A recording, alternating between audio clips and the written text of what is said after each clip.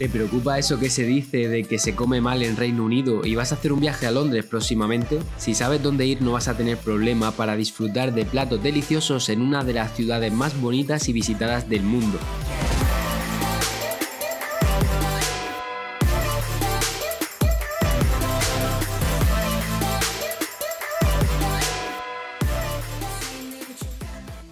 ¿Qué tal? Bienvenidos y bienvenidas a este vídeo donde os voy a mostrar Londres, pero de una forma un poco diferente a lo habitual, y es que me voy a centrar exclusivamente en recomendaros sitios para comer en la capital británica. Aquí podemos encontrar comida de todos los tipos y diferentes partes del mundo, así que apuntaos bien las recomendaciones y mejor si habéis comido ya para que no os entre mucha hambre. Comenzamos.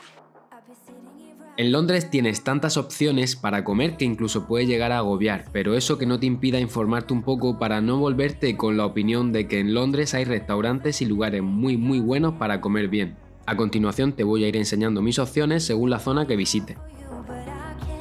Empezamos por la zona de The City, el distrito financiero de Londres donde podemos encontrar el Tower Bridge, la Catedral, The Shard y muchos más monumentos, Aquí puedes pasar un día entero, así que puedes comer y cenar en los sitios que te voy a recomendar.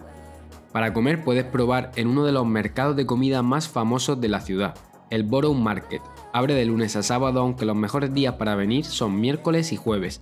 Aquí probamos el fish and chips, que además nos encantó, pero tienes puestos de todo.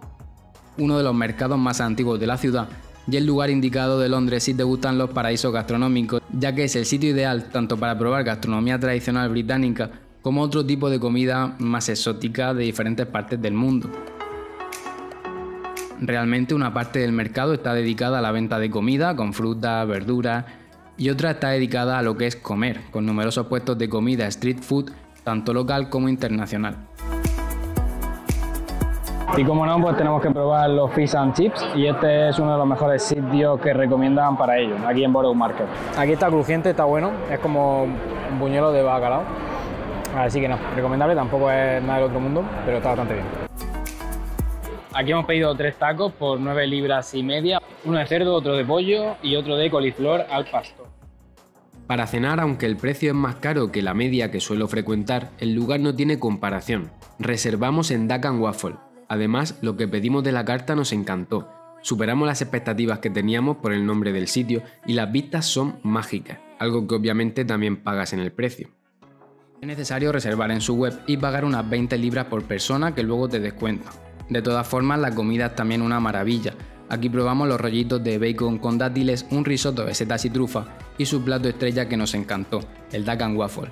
El precio que veis es por persona.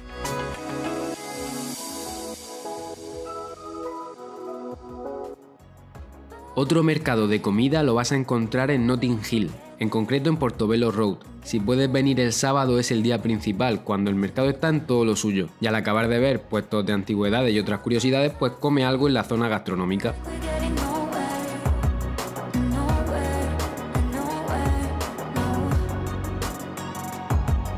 Por la zona de Westminster te recomiendo el Red Lion, con sus típicos pies o pasteles de diferentes rellenos.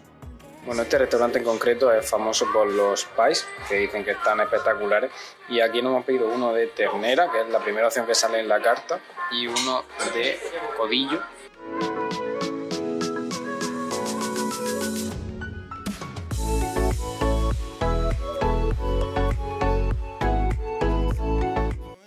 Para desayunar también tengo recomendaciones. Cerca del Museo Británico, en el barrio del Soho, tienes The Breakfast Club Soho, Aquí puedes hacer el típico desayuno inglés o americano. El precio es algo caro, pero estaba delicioso. Mira, lleva tortita, bacon, salchicha, huevos revueltos y patata. Vamos, vamos a poner la pila hoy que toca ver un montón de cosas por aquí por el centro.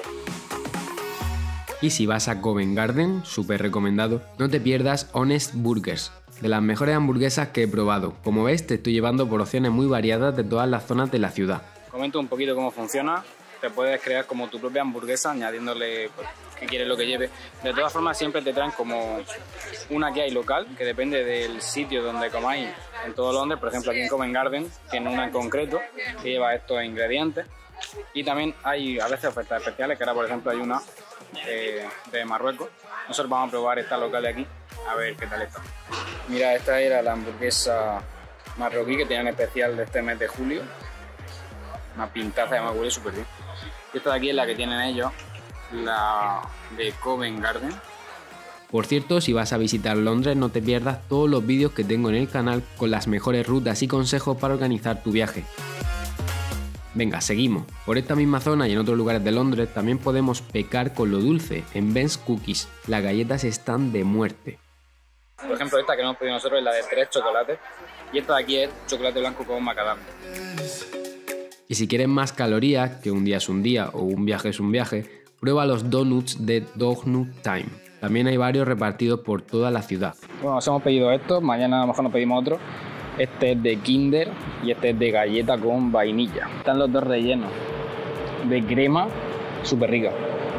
Otra opción es Crispy Cream, aunque me gustaron más los otros. En la zona de Chinatown probamos uno de los muchos restaurantes chinos que hay por aquí. La oferta es prácticamente similar en todos. Uno de los mejor recomendados es Misato. Empezamos aquí en este restaurante chino con unos rollitos de primavera vegetales y un arroz frito que lleva gambas, cerdo, maíz y un pollo al curry que huele súper bien. O también bibimbap de estilo coreano que es un poco diferente.